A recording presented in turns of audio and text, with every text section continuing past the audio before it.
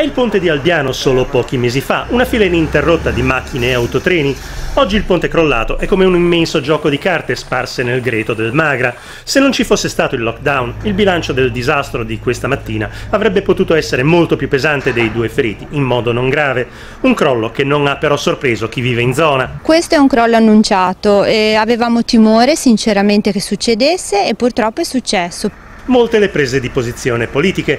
Per la Lega l'onorevole Viviani, la senatrice Pucciarelli e l'onorevole Edoardo Rixi, responsabile infrastrutture per il suo partito, ha ribadito l'assoluta necessità di interventi infrastrutturali appena terminata l'emergenza Covid, sbloccando miliardi di euro fermi per manutenzioni in ANAS e altri gestori. Raffaella Paita di Italia Viva ha ricordato che tutto era pronto cinque anni fa per una nuova bretella che avrebbe sostituito il ponte, cancellata però dalla giunta regionale del presidente Toti.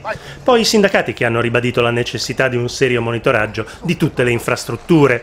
Probabile da parte del Ministero dei Trasporti la nomina di un commissario per una rapida ricostruzione, mentre escluso il montaggio di un ponte Bailey provvisorio, restano le preoccupazioni per le ricadute economiche del crollo. Sono anni che Santo Stefano, tante amministrazioni che si sono succedute, non ultima la mia, che chiediamo che questo problema venga risolto, il problema di collegamento con Santo Stefano, con un bypass.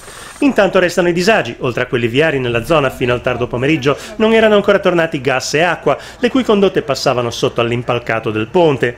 E proprio nella distribuzione dell'acqua è stato segnalato un particolare inquietante. Già alle 8, due ore prima del crollo in diverse abitazioni della zona, i rubinetti erano a secco, forse il primo segnale del cedimento del ponte.